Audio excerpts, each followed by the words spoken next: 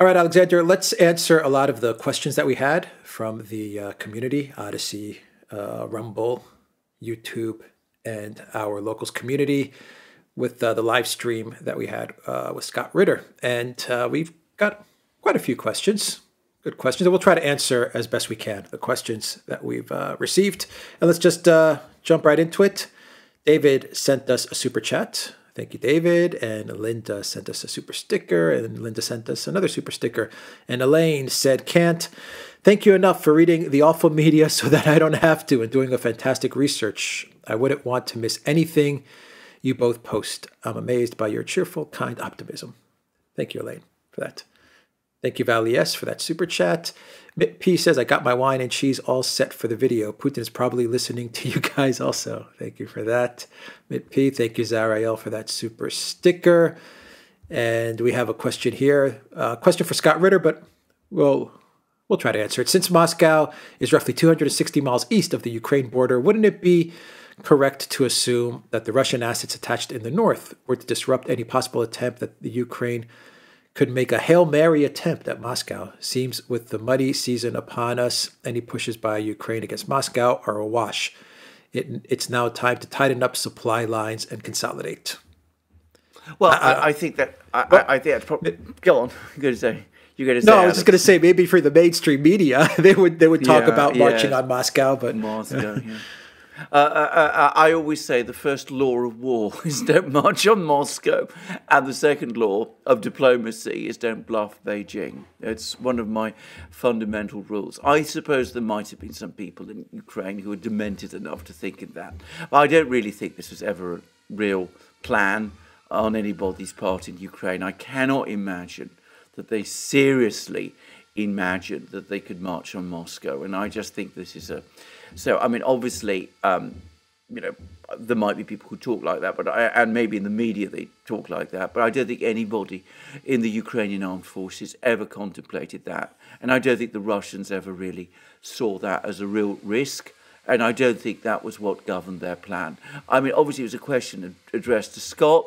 And note that over his long discussion, he never at any point said that he thought that this move was intended to protect Moscow or Russian territory. As far as he was concerned, and this is, of course, confirmed by what the Russians have been saying, it was all a diversion to keep Ukrainian troops pinned down defending Kiev. And I think, you know, that's that corresponds with my understanding of events as well. Can I just make one further observation? And this flows very much from what uh, Scott said, and it's also um, uh, uh, it, it, it, also corresponds with my information. Scott Ritter made the point that the Russians have committed 40,000 men to clearing Mariupol. Now, Mariupol has a population of between three and 400,000, or at least did before the war. It's a fairly, yeah, it's a big city, but it's not enormous. And its garrison was 14,500 men, according to the Russians.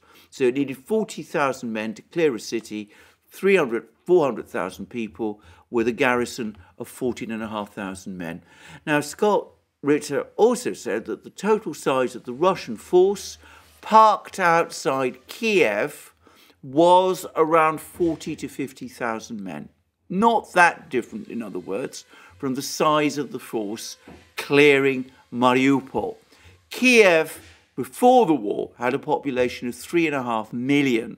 It's a vast, sprawling metropolitan area, bigger apparently than New York City. You do not storm, as Scott Ritter said, you do not just have, you, you don't just use 50,000 men to storm a city of that size. And I'm guessing that the Ukrainian forces committed to defending Kiev would have been orders of magnitude more numerous than the ones in Mariupol. So you think about it, I think Scott Ritter's analysis must be correct. And of course, it corresponds with what the Russians themselves have been saying. Mm-hmm. All right, KM944 says, What WMD did Saddam Hussein actually have? Mm-hmm. I don't think he well, really had anything, be honest. He didn't have any. I mean, that was the point. I mean, he did, he did, he did use chemical weapons in his war against uh, Iran, and in some of his wars against the Kurds. And these were, by the way, old fashioned chemical weapons of the kind that were developed in the Second World War, sarin and uh, th- that kind of thing.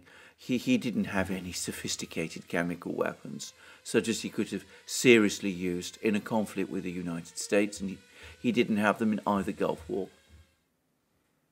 All right. Uh, Jeanette said, if you were going to leave the USA, where would you go? Russia, Serbia, or Hungary?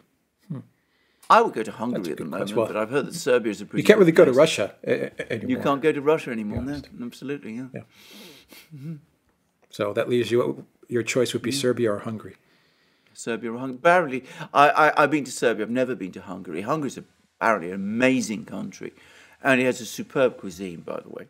But so does Serbia. So you know, I'm not going to make. I think you can't go wrong with either of the two. No. Yeah it's a shame that you can't go to Russia anymore. Anyway, uh, thank you for that uh, super chat. Uh, Euro Gabor said, Good morning.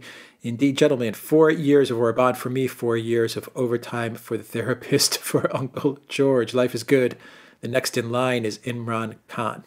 Mm-hmm. Absolutely. I mean, I well, we'll see what happens. Pakistan. By the way, I should say Alex uh, has done some amazing updates on the situation in Pakistan, which you can find on his channel. Deserves a big discussion we're going to see what happens because as I suppose we're making this program, I think the Pakistan Supreme Court is still looking at whether this dissolution decree of the uh, Pakistan Parliament is legal or not. But of course, if it is if it is legal, I don't really see why it wouldn't be, and there are elections, then of course this regime change operation will have failed, and then we will see whether the U.S. puts pressure on the military in Pakistan to step in, which of course has happened before. So this is really actually very, very ugly. And, you know, the US says it's protecting democracy. It's undermining democracy because under no doubt at all it's the US that has engineered this affair. They've got regime change crazy. They really have. And, yeah. Uh, Waldo says uh, it was a great stream. Thank you very much, Waldo, for that. And uh, Ihang101 says, uh, can Scott comment on rumors that Putin has Parkinson's? Yeah, I well, I don't think Scott would, but I can I, I, can comment on them. I mean, I, I, there have been rumours about Putin's ill health since very soon after he became Russia's leader. Um, all I will say is just look at how hard the man works. It doesn't suggest to me a man who's not in good health. Apparently, and according to the Wall Street Journal, he confirmed it himself. Um, the day before he signed the decree recognizing the two republics of the Donbass, he was talking uh, with Macron up to three o'clock in the morning in Moscow. And then he convened a big meeting of the Security Council, the Russian Security Council, which is all televised, and then he made a big speech afterwards. I mean, he did look tired, but he certainly didn't look ill, and he's never looked to my mind, at all unwell. And I've had dealings with people who have Parkinson's, and there's no sign, to my mind, that Putin has Parkinson's. Yeah. Uh, Jennifer, thank you for that awesome super sticker. Summer of 1970, thank you for that super sticker. Jay Galt says, Black Pill. Uh, Scott says the CIA is anti American, but they are the true rulers of America, JFK. No politician can survive blackmail party pressure, and the cost of taking on national security state. Mm. Well, I think what was that that, um, that Chuck Schumer phrase, Alexander? Six yeah, uh, about Trump? Uh, um, six ways to. A, six days of the week and two ways to Sunday, something like that. Whatever it was, but anyway, you basically that warning to Trump. the intelligence, you know, intelligence services. I mean, that was what he was saying.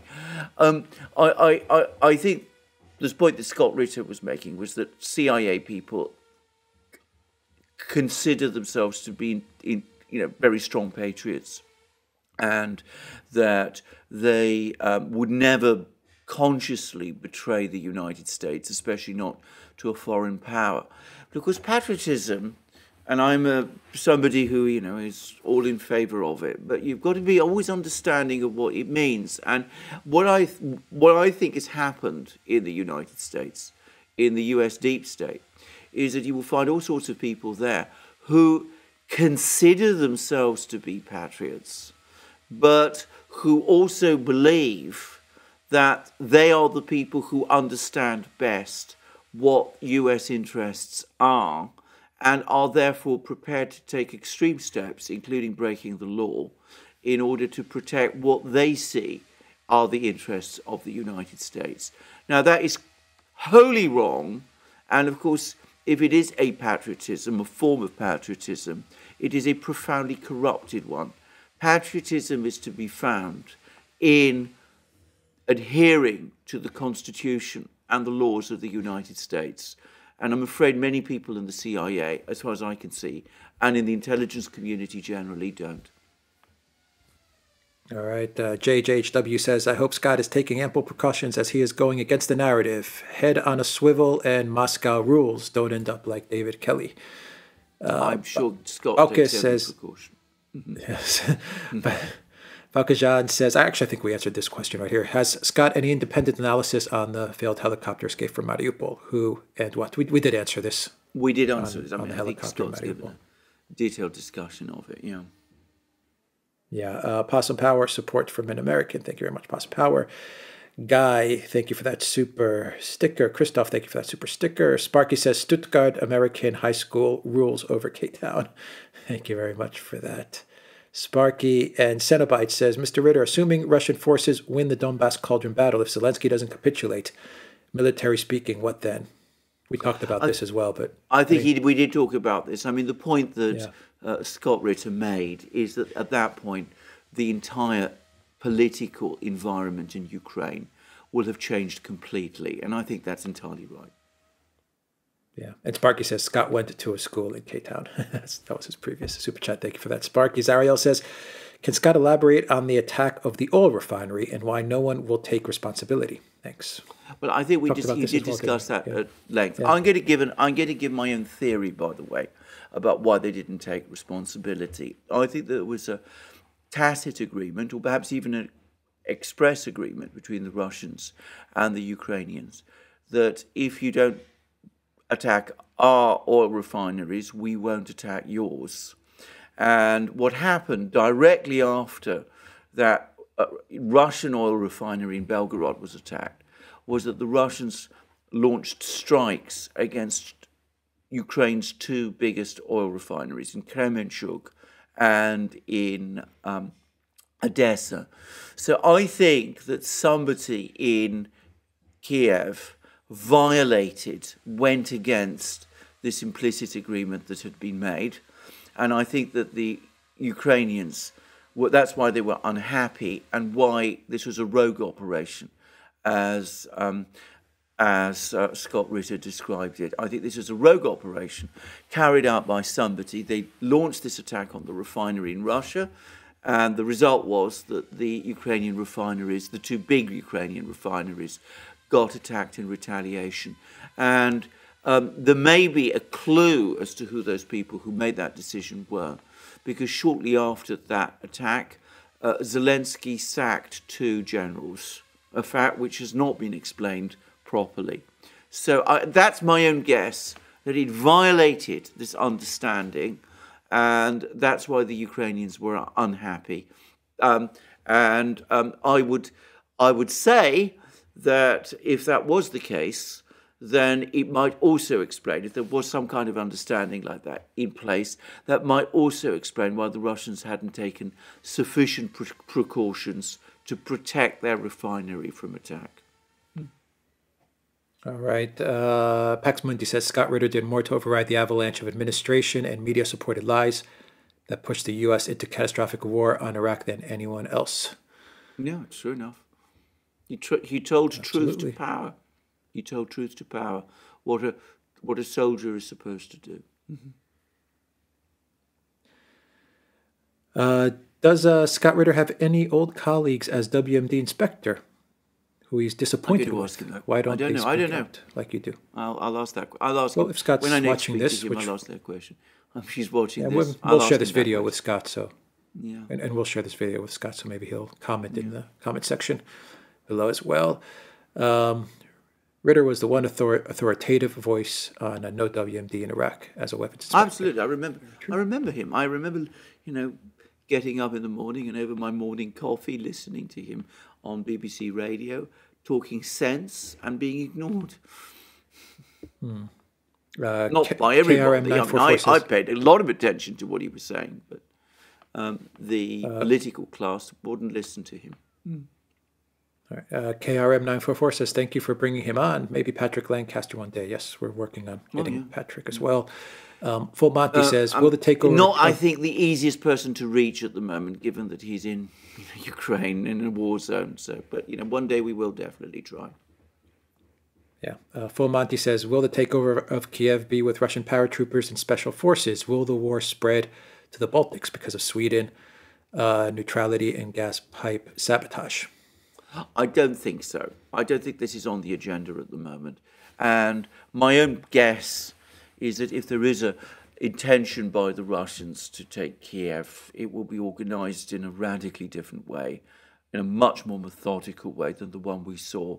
uh, well, well, we, we, you know, we, you know, uh, you know, won't just be paratroopers flying in and things of this kind.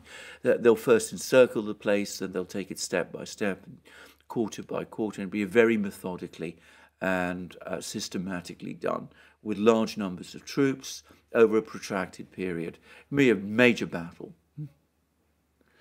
Uh, Jutard DKGB says, I'm curious if Scott thinks that is, if Scott thinks that this is any, that there is any legacy of Soviet deep operations theory developed by Tukhachevsky being utilized by the Russian army currently in this war. That is an absolute question for Scott Ritter.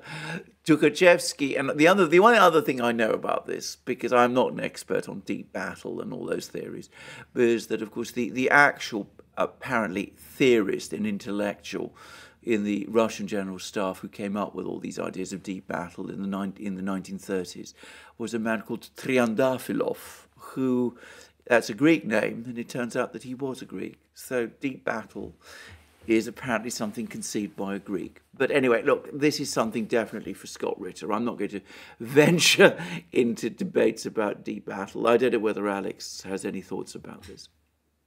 No, no, I think there's something for Yeah. for Scott once again. If he's watching this, maybe he'll comment in the comment section as well. Uh, G Jetta says, "What's the best way to conduct a truly independent investigation of this village in Kiev?" We answered Right. this actually. We've Forensic. answered it. I mean, the, the very first thing. I mean, it should be done. It should have been done within hours. There should have been an immediate meeting of the Security Council. The Security Council should have been po- appointed independent investigators. People should have been rushed to the site. The uh, crime scene should have been secured, and uh, you know, proper a proper forensic team should have been brought in to study, photograph, examine the crime scene, and conduct proper autopsies on the bodies. And this is, you know, something you can do very fast. Um, I've seen it done, and I know how fast it can be done if the will is there. Corolius Defect says, How deep are Russian military reserves? Will the patience displayed and honed in Syria continue towards the west of Ukraine, or would that become a bear trap given the West's continuing material deployment? I think this is again something which we'll pass on to Scott. My own personal view is that the Russian reserves are not limitless. They're more than sufficient for whatever operation the Russians have in mind in Ukraine. Uh, Tsunami Bond says, Wasn't the Russian attack from Crimea mainly a marine line attack? How come the Ukrainians didn't manage to defend or counterattack against that? Leader incompetence or overwhelmed inability? It's a very good question, actually. Again, I think that may be more one for Scott. but it was a I- whole different. I- yeah, go on. no, it was also a whole different scenario back then. Was It it? I mean, Yeah. Yeah. Well, I'm not sure what's been discussed here, whether it's the 2014 Crimea affair or the offensive yeah, the that 20 was yeah. launched.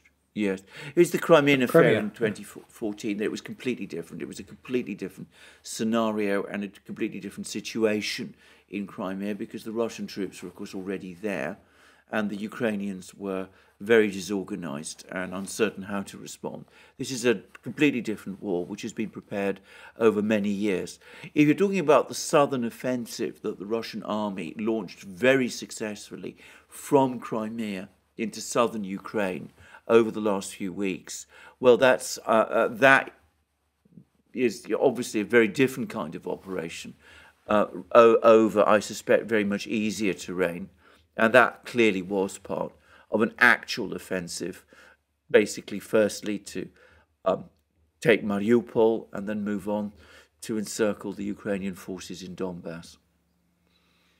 Yeah, Corelius Defect says if Zelensky is a prisoner of his cabal and his bodyguard, when it's all over, he is not more useful as a martyr to the cause. Do you think he is aware of the danger he is in? I'm absolutely sure he's aware of the danger he's in. And I would say this I saw a photograph recently of Zelensky um, going on a tour, looking at you know the place where all these things have happened, and he was surrounded by people, armed men. And I have to say, again, he looked I thought very, very, very sad and rather frightened. That was my own interpretation of that photograph. Others may not agree. Mm. Yeah, he did not look good he at didn't all. Look good. No. Yeah. Um, let's see. Uh, from Tony says, how much do you think the West helping the battle, providing intelligence, actually directing what they do? I think it is providing a huge amount of advice and help. I mean, to give an example, um, and it was one that Scott Ritter touched on. The helicopter raid on the refinery almost certainly happened because the Western powers were able to give um, Ukraine, the whoever it was who launched this strike, information about gaps in uh, Russian radar coverage. Mm-hmm. Uh, Jeff Jeff Rich says, uh, "I would love to ask Scott for advice to we citizens of many nations about how to endure the information war, especially over the next month. I have to drop off, but I will watch later after I sleep. The information war. That's a tough one. Information, information war. Well, like, what can we say? Come to the Duran. we do our best. Yeah, that's a tough one. Mm. Uh, Real No Sense says Colonel Macgregor said a couple of days ago Russia's military is exceptionally prepared for offensive operations. Do you agree? Yeah, I think I think Scott Ritter said exactly that. I mean, he said that you know this is obviously a maneuver battle, and that the Russians seem to be very, very well organised for it. Alan Watson says, "I'm afraid all of this is being encouraged by the West." Absolutely, of course it is. No question about this. I mean, we've had this long story in the Wall Street Journal about the negotiations and the discussions, and uh, and the fact that Olaf Scholz came up with this blundering idea right at the end of telling Zelensky, drop your NATO bid. And Macron seized on it and was trying to set up a summit meeting between Putin and Biden. And of course, Biden wasn't interested. yeah. DG, DGC0 says, question for Scott. How long, in his opinion, before the surrounded Ukrainian Eastern Task Force will surrender and Will they have to fight the one nationalist battalion in each brigade before they can surrender? I think we talked about this as well. Yeah, I think we did actually, yes. I mean, I, I don't think we should commit ourselves to any deadlines because, I mean, you know, in a, in a battle situation, whoever can. Yeah. There's a question here about does anyone know how many troops are catching the Kuf? This is a serious question. That's, That's a good a question. question. It's a very good yeah. question. What I would say is this um, um, the Russians provide information about the incidence of the Kuf in Russia, and it's now almost very low, and it seems to be going down. So, I mean, I don't know what other. What, what the general situation is, is in that in is in that part of the world, but at the moment it seems to have run its course, at least in Russia. Mm-hmm. Yeah. Uh, KM944 says, How could Russian intelligence be poor? The ability for Russians to embed as spies is seamless. They are fluent in the language and the culture. I'm sure, I'm sure that's right. Mm. What, what, if anything, is left in the Ukraine command and control structure? Not much, I imagine. Not much, as far as one can tell. Mm. Yeah. Uh, Tweak says Swedish media claims that a number of different intelligence services, including the CIA, are currently carrying out operations inside Ukraine, and I wonder if this is something that other Western powers have openly admitted. My impression was that the West was car- was actually denying any claims that they would have any military personnel operatives working inside of Ukraine right now, but maybe I've gotten this all wrong. No, they are denying it, but of course we don't know how much weight to place on those denials.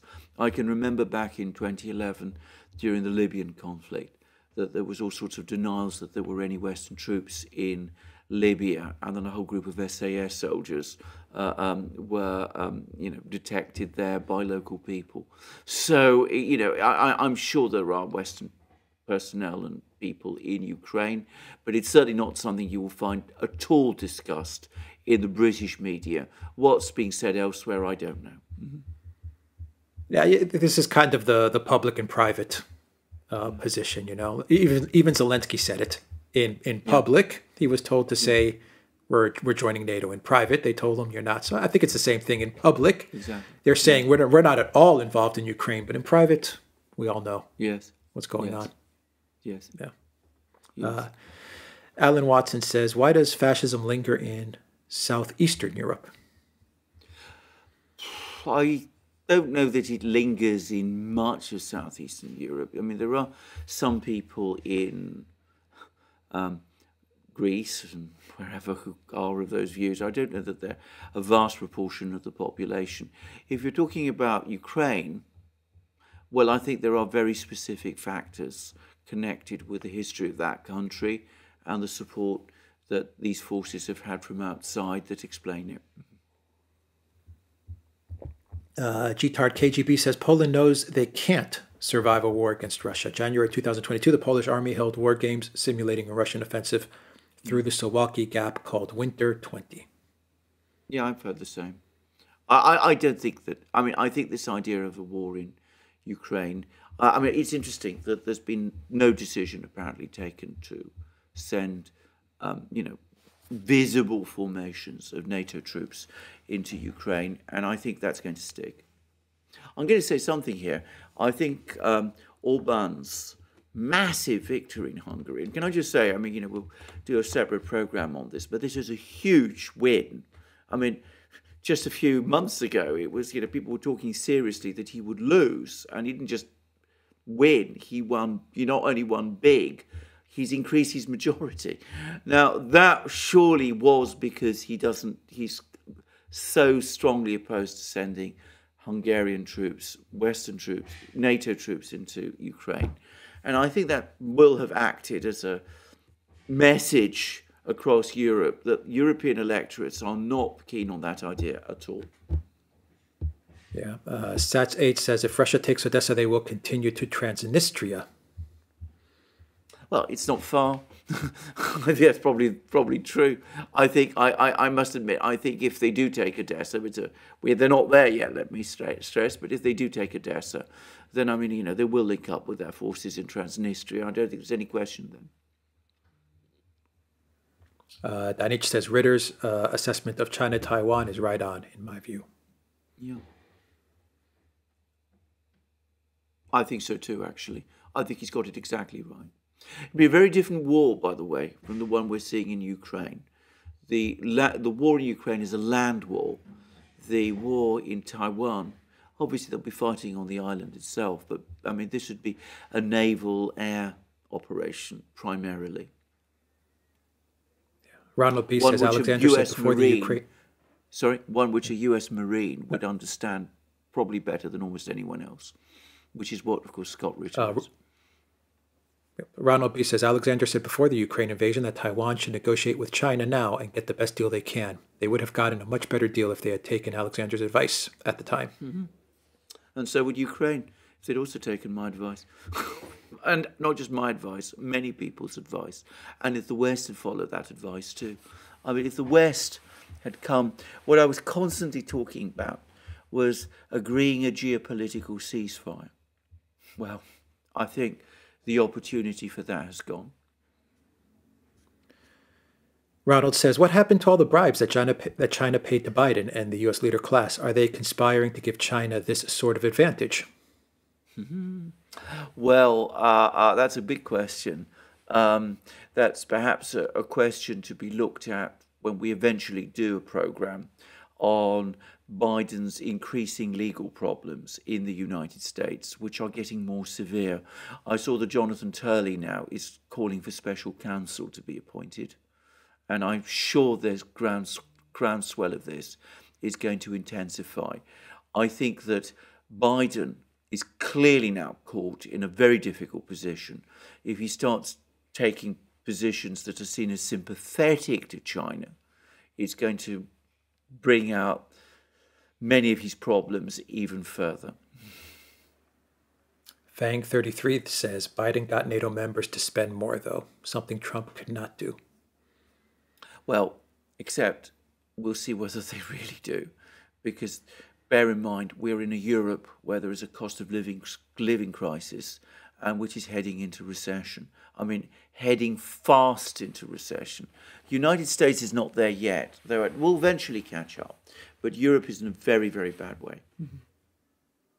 Yeah. Uh, Yov, thank you for that super chat. Frank, thank you for that super chat. Vasca, thank you very much. Lakeva, thank you very much. Deliopolis says, What do you think an end to the U.S. hegemony would mean for countries like Australia and Canada that are resource rich but rely on the U.S. for their defense? What can they do to correct course? Make peace with the other countries in the Pacific. I mean, I, I don't want to sound, again, I mean, I don't want to predict too far, but I mean, why would China want to conquer Australia? Surely the better thing to do would be to come to terms. Hmm. Commander Crossfire says uh, there's a quote The great questions of the day will not be settled by means of speeches and majority decisions, but by iron and blood. Otto von Bismarck. Mm. Mm. To the uh, Prussian parliament, by the way. Yeah. TT, thank you for that super sticker. Piano Man, thank you for that super sticker. Kaliu25 says, uh, actually, I think we answered this, but so the false flag that you guys were talking about happened over the weekend. I really hope that it was a Hollywood production and the evidence seems to point towards this and not the real massacre. What a mess. What a mess, indeed. Mm-hmm. The old one says, if Finland and Sweden joins NATO, does it mean World War III? Finland is, is very close now, Alexander. I agree. Without a referendum uh, as well without a referendum. Without a referendum, I saw that too. Yeah, which is very interesting. We'll just have to see. Uh, I mean, we won't start World War Three. And to, to stress again, it is not as fundamental to Russia as Ukraine is. Tatiana Kopel, thank you for that super sticker. K1F says uh, Scott could weigh in on uh, Macgregor McMaster debate within the Pentagon. Yes. Well, during Trump's term, I think McMaster yeah. and uh, Macgregor. Yeah. Yeah, I think so. I mean, I, I, McMaster is a hardline neocon. Macgregor is the opposite. I mean, there's no doubt at all which is the more intelligent man, in my opinion. And I think in any real debate, Macgregor would win hands down. Hmm. Yeah, Nitswitch says, Good to have you, Scott and the Duran. Alex Alex too. Thank you very much for that. Sanjeva says thanks Duran and Scott Ritter. Thank you very much for that, Sanjeva. Leon, thank you for that super sticker. Thomas says thanks guys. Ralph says, uh, I think we talked about this as well, but he says, Mr. Ritter, a claim Hussein pre signaled to the U.S. his takeover, uh, putative rep- repatriation of Kuwait, and took the lack of response as a green light. Gulf War, that's justified. Any truth to that? Thanks for your work. Well, I think that I think there was a case. Was, was, it yes, justified? yeah. Yes, was it justified? No, no, no I, was just saying. I think we can. You've gone. Sorry, there's a little delay. There's a little delay, Alexander. Yeah.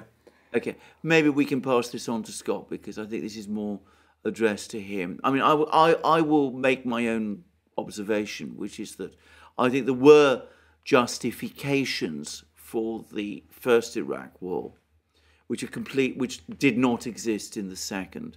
That doesn't mean maybe that the whole thing couldn't have been settled diplomatically, but um, you know, I, I, mean, you know, Saddam did occupy Kuwait, and you know that was, on the face of it, an act of aggression. Anyway, I'll be interested to see what Scott has to say about that. Mm-hmm.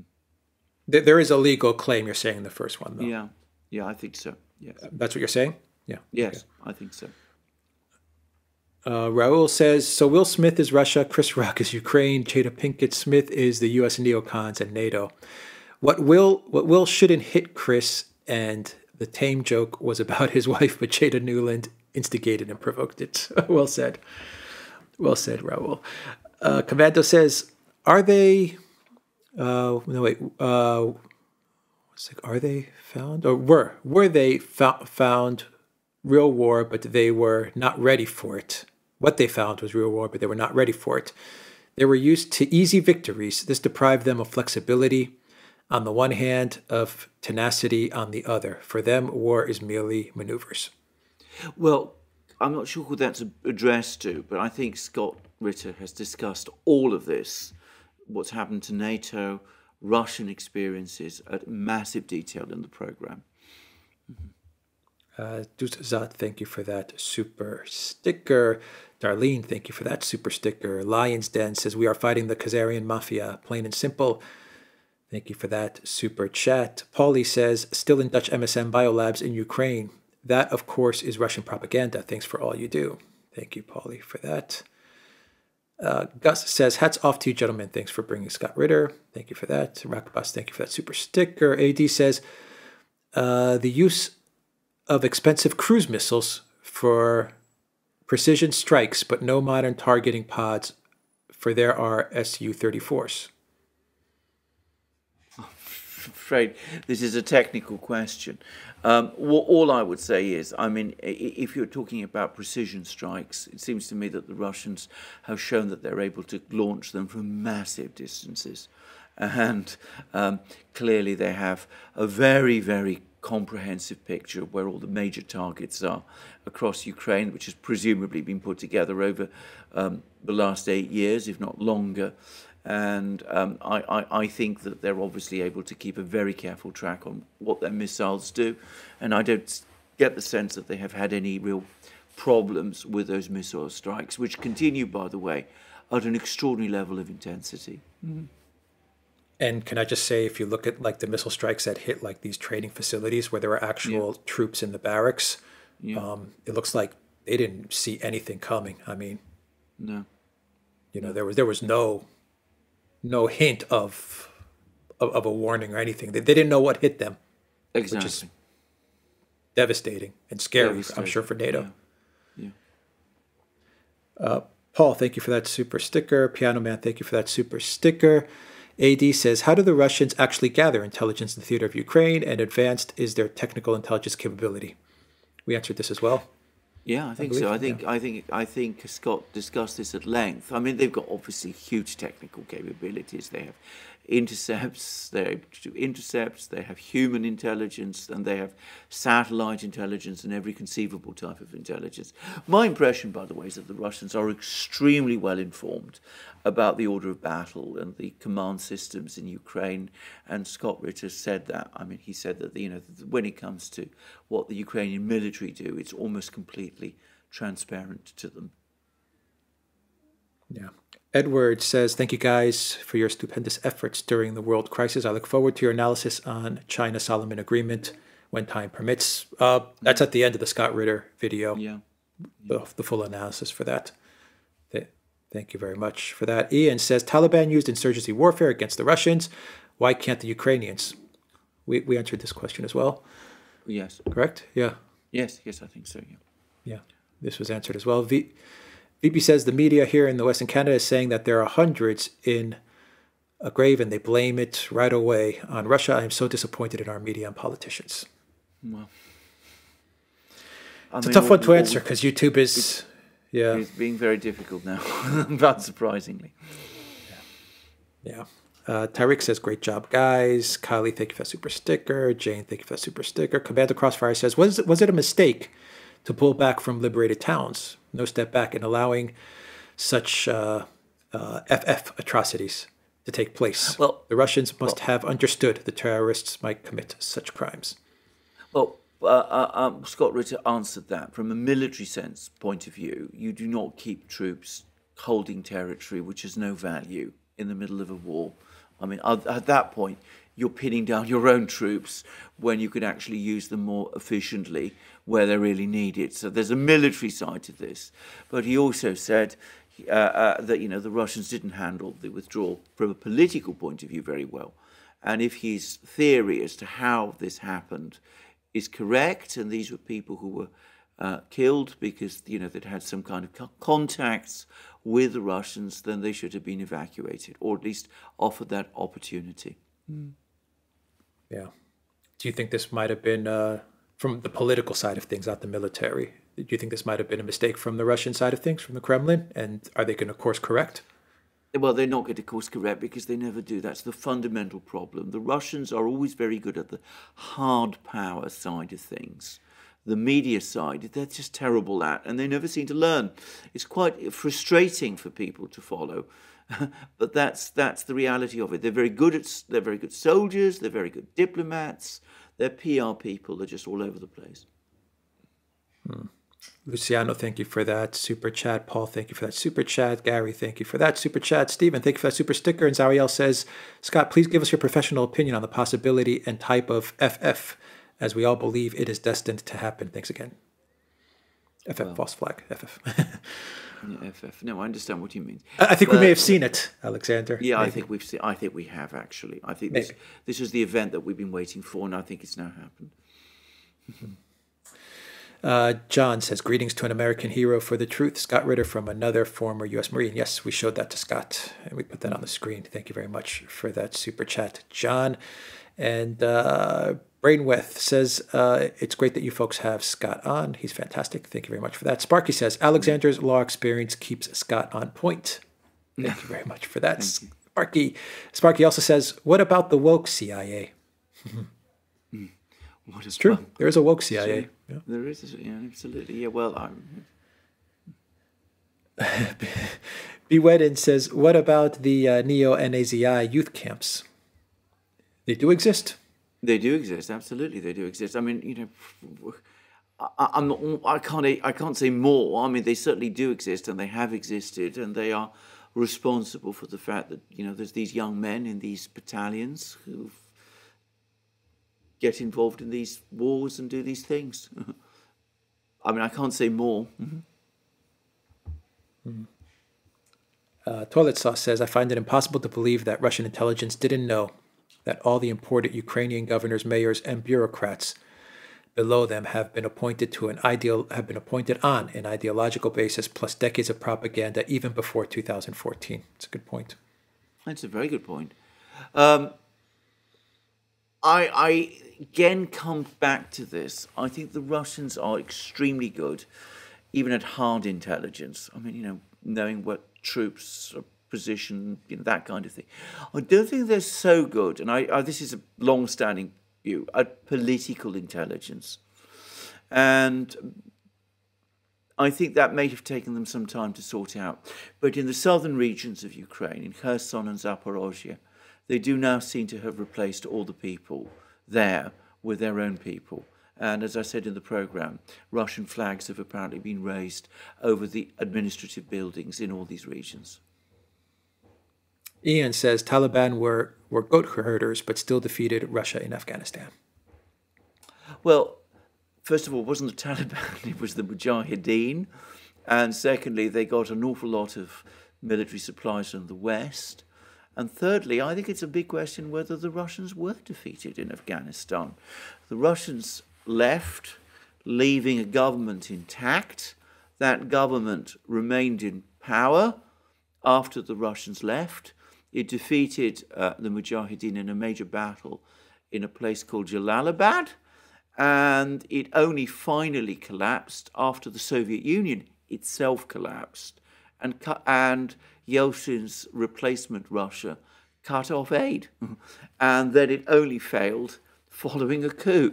So you know, I, I, I, you know, I, I think these points need to be made because you know I don't want to give the impression that I think the Russians are, you know, invincible. Obviously, they're not. That's an absurd. There's no such thing as an invincible army.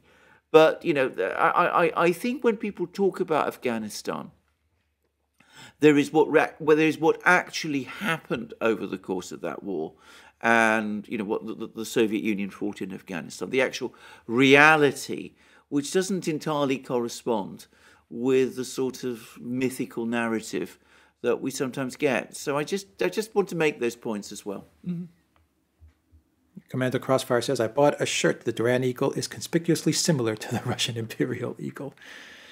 Yeah, but it's not. To the Greek eagle as well, and the Byzantine Greek eagle as well. Well, you may always remember. I mean, all this started with the Byzantine Empire, so you know, which yeah. is what we have. Uh, we're more connected to. But as I said, it is our own Duran eagle. It's not Byzantine or Russian or Habsburg, by the way, because exactly. the Habsburgs also used the double-headed eagle. Very true. Uh, Balke John says, uh, what does Scott Ritter think of the very conspicuous exclusion so far of the crucial Odessa region from the battle? We talked about. We this, did ask that what question. do you think? We had we, we, we did we did ask that, ask that question. Yeah. Yeah, yeah. It's hmm, maybe in phase three. Maybe we'll see. Uh, Phoenix Knight says, "What are Mr. Ritter's thoughts on the former CIA agents speaking as subject matter experts on the Ukrainian conflict and Putin, and whether they are likely still on the CIA payroll? Uh, example: guests on Rogan's show." We can answer this. What do you think of these I people did that claim this, to be actually, Putin yeah. experts? We did answer this, but what do you think of all these uh, CIA guys and all these people on uh, mainstream media who are Putin experts in the in the I think it's absolutely wrong, and I think that shouldn't happen. I think that intelligence, the, the, the function of intelligence officers, is to provide advice to government, to the governments that they serve. It is not to manipulate opinion by providing um, intelligence or, or, or, or, or information or even their own opinions to the media. I think that they serve the government, they serve the president of the United States. They're not there to manipulate uh, people's people um, people in that kind of way. So I think it is completely wrong, and I think that it ought to be, and it perhaps once upon a time would have been, part of a contract uh, of service for these sort of people that you know after you leave your service you keep your opinions to yourself. Because I, that's the only way in my opinion that intelligence can really work. Otherwise it becomes political and it becomes contaminated and all kinds of terrible things happen. Yeah. V Plan, thank you for that super sticker. Alexander says, Thank you, gents, for bringing truth to the people around the world. Keep brave as you are alone with just a few like you, withstanding against all Western propaganda. Thank you, Alexander, for that. Peter says, Do you think that Putin is playing the Western media for his own advantage, using their own force against them for a big reveal? No, I don't think so. I, I, I, I wish it was as sophisticated as that, but from past experience, I don't think it is. I mean, bear in mind something. I mean, Putin has been losing the information war with the Western media from almost the time when he first became president of Russia. He had a very brief honeymoon when they thought that he might be their friend, but when it turned out that he wasn't, they've been going after him relentlessly ever since, and it's got worse and worse with every passing year. So I, I don't think he's got some master plan to turn this all round. I, I don't think this is. Um, I don't think this is what um, this is about at all. I mean, I think he's finds himself in the same position as any number of other leaders do. That when the uh, when he goes against Western policies, when he goes against the policies of the neocons and the globalists, their attack dogs in the media come after him, and I'm afraid he just has to deal with that as he can. hmm Yeah. It's been amazing that Russia has not been able, through all the advances they've made in the past 20 years, the media part has been the one part that they've not been able to, Well, to yeah. improve on. And when, when we mean media, we mean internationally focused, not Yeah. domestic inside of Russia. No, absolutely. I mean, within Russia, it's different completely. But international media, they never seem to really try. I mean, even RT in its heyday, I never thought was really up to the to the level of taking on the Western media establishment. Though, having said that, I mean, you know, it certainly made them very angry because you look look at the measures they've taken against it. Yeah. Yeah, it made them very angry. But yeah, I mean, they didn't, uh, by following the path that so many Western media companies have taken, i.e., focusing on opening up channels and, uh, and offices in various countries. Uh, they left themselves open to uh, to being shut down instead of you know trying to go decentralized or on the web or a streaming service or something like that. Absolutely mean? correct. That is so completely true. And you know, Russia is the country, a country along with China, which has the technical, would have had the technical resources to do it. But they never thought. Yandex. Yeah, Yandex alone, Yandex. I'm sure, would have been able to create all kinds of great stuff for them. absolutely. But you know, they never thought of it. They Never thought of it. Yeah. Uh, Zook says, uh, "Great stream. Thanks for sharing and uh, caring respect to you, sirs. Thank you very much for that." Um, from Ago says, "How can Russia spend one tenth of the U.S. military budget but have supersonic missiles, ICBMs, and combat efficiency What is the U.S. getting for the 800 billion defense budget?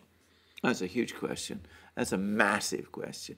First of all, let's be absolutely clear about this. Russia spends an awful lot more on defense than these figures uh, imply, because, of course, what you're probably comparing is, um, um, you know, spending according to exchange rates, and exchange rates can be very misleading about, about the actual spend of any particular country. But clearly, the Russians have a far more streamlined military industrial complex than the United States does.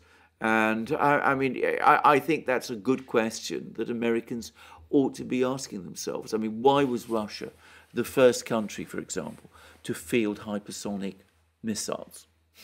I mean, surely, given the amount the US spends on weapon systems and the importance of hypersonic missiles, the United States ought to have been at the vanguard of these developments. Yeah. Sea Dog 2K says free Julian Assange. Agreed.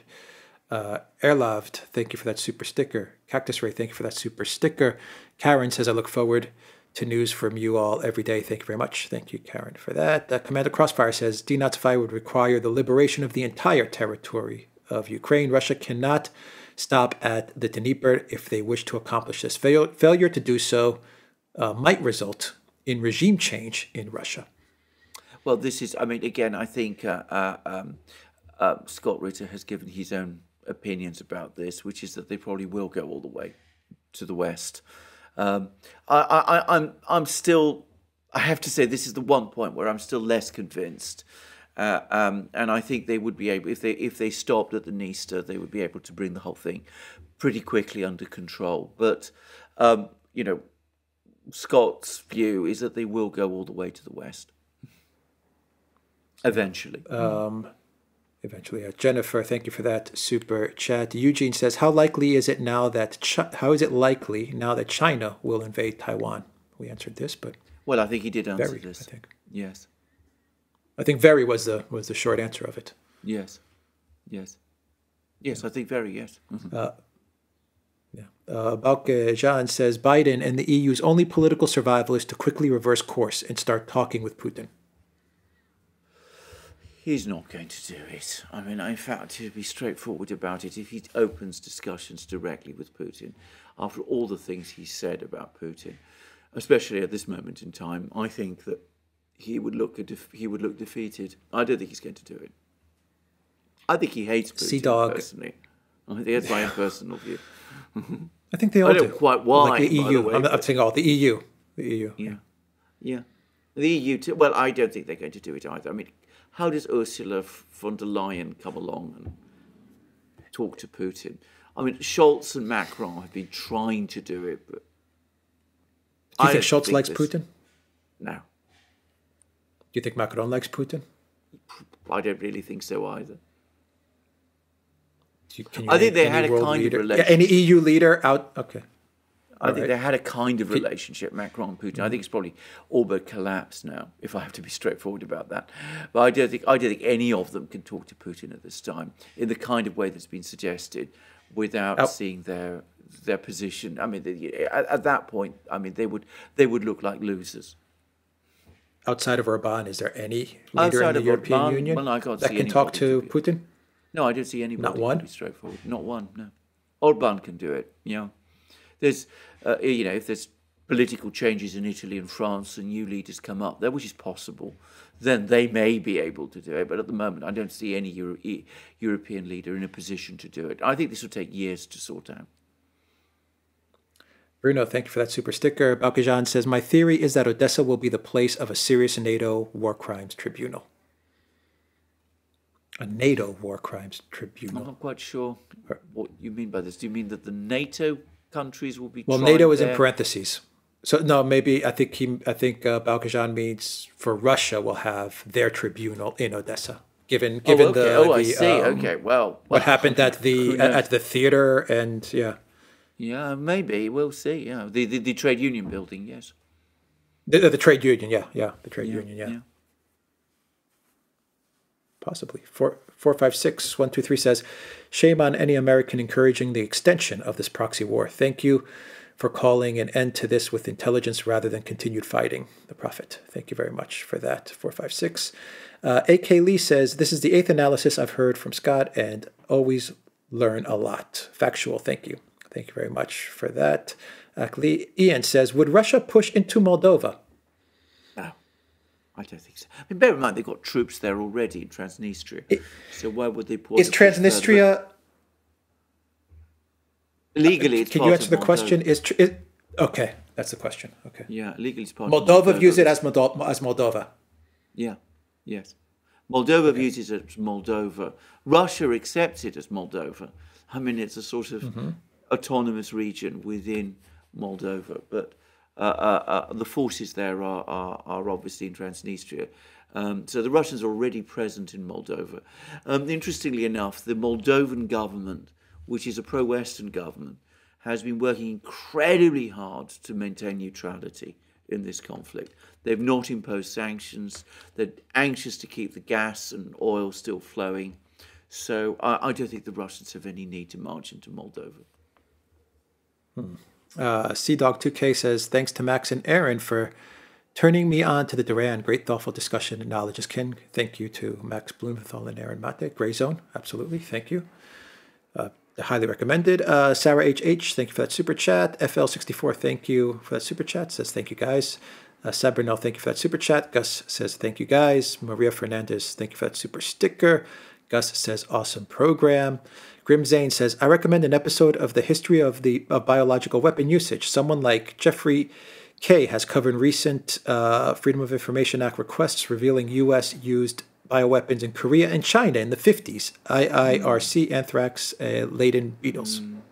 Mm. Interesting. Okay, well, we, we, we, will watch this. I've heard stories about this use of bioweapons in Korea and China. I believe it's still disputed, by the way, but you know I don't pretend to be any kind of expert on the topic. Mm-hmm. Gordon, thank you for that super sticker. MyTube, thank you for that super sticker.